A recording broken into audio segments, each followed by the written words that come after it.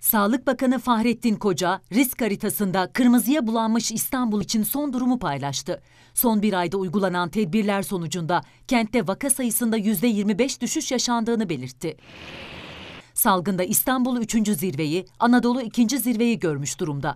Özellikle 6 ilde ise tehlike çanları çalıyor. Adana, İzmir, Samsun, Hatay, Antalya, Ordu. İstanbul ve Ankara kontrol altına alınmışken bu illerde yoğun bakım doluluk oranı alarm veriyor. Es kodumuzu alalım. Sağlık Bakanı illerdeki son bir haftadaki vaka artışı ve yoğun bakım doluluk oranlarına da dikkat çekti. Risk kapımızda, alışkanlıklarımıza teslim olmayalım uyarısında bulundu.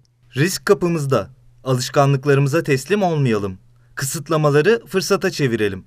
Tedbirlere daha sıkı uyarak sağlık çalışanlarımıza destek olalım. Mücadele birlikte kazanılır.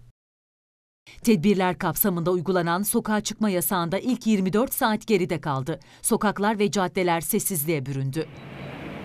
Kısıtlamadan muaf olan kişilerse hareketlilik oluşturdu. Koronavirüs nedeniyle hayat durma noktasına gelmişken Muş'ta üreticiler sabahın ilk ışığıyla tarlanın yolunu tuttu. Yaklaşan kış öncesi arpa ektiler.